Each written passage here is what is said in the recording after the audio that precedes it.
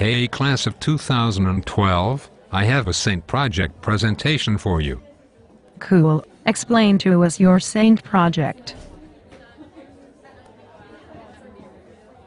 First of all, my saint is Saint John Bosco. Oh, okay. He was born on the night of August 16, 1845, to his parents, Francesco Bosco and Margaret O'Kenna. He grew up to be a wonderful child, becoming an acrobat and magician. John would often entertain his parents and siblings. One night, he had a series of dreams that would contribute to him entering priesthood. Bosco then left his family to pursue his holy life. Someday in 1830, he met Father Joseph Colosso, who identified some natural talents in Bosco and supported his schooling. He attended the Refugio, a girls' boarding school, as a chaplain. The boarding school also assisted in catechism, visiting prisoners, and helping out other parishes. Bosco and his group of friends were helping around the neighborhood, but one day complaints arose around the neighborhood causing the group to be evicted. Is that it? Is there still some more information? Yes, yes there is. Bosco was often targeted by many people planning to take his life. Many were shooting, clubbing, and near stabbing. He still though continued on with his work. Wow, that's sad. They attempted to murder a teenager.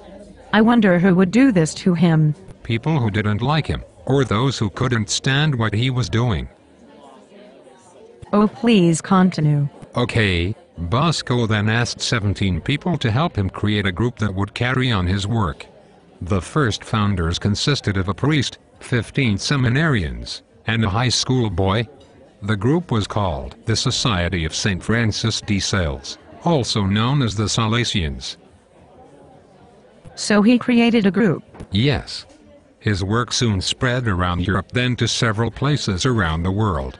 He educated young boys and convinced them to enter priesthood.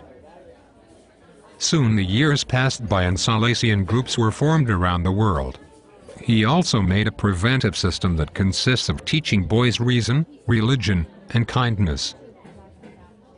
Bosco died on January 31, 1888. There was a popular demand for him to be canonized. He had made many miracles, but cardinals, who were opponents of Bosco, feared him being canonized. The Salesians feared of their success. A factor that helped Bosco was that Pope Pius knew him.